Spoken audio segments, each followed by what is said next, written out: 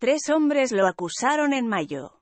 El actor deberá asistir al Tribunal de Magistrados de Westminster.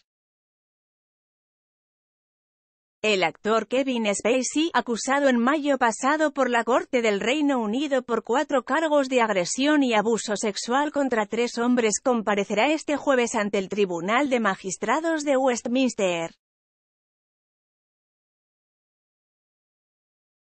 Según Variety, se alega que los cuatro asaltos históricos fueron perpetrados contra tres hombres, ahora de entre 30 y 40 años, entre 2005 y 2013, un período durante el cual Spacey se desempeñaba como director artístico del Teatro Old Vic de Londres.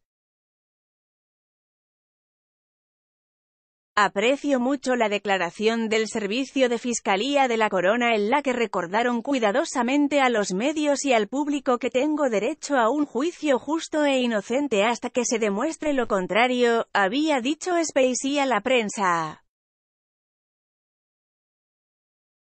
Si bien estoy decepcionado con su decisión de seguir adelante agregó me presentaré voluntariamente en el Reino Unido tan pronto como se pueda arreglar y me defenderé de estos cargos, que confío probarán mi inocencia.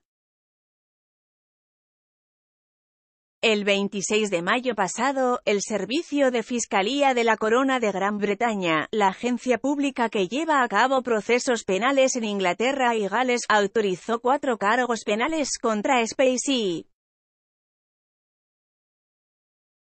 Además de estos nuevos cargos en suelo británico, el doble ganador del Oscar por Los sospechosos de siempre, 1995 y Belleza Americana, 1999 y de numerosos galardones por la serie House of Cards enfrenta desde 2017 una verdadera ola de acusaciones en Estados Unidos por delitos de índole sexual en medio del movimiento almohadilla Metoo.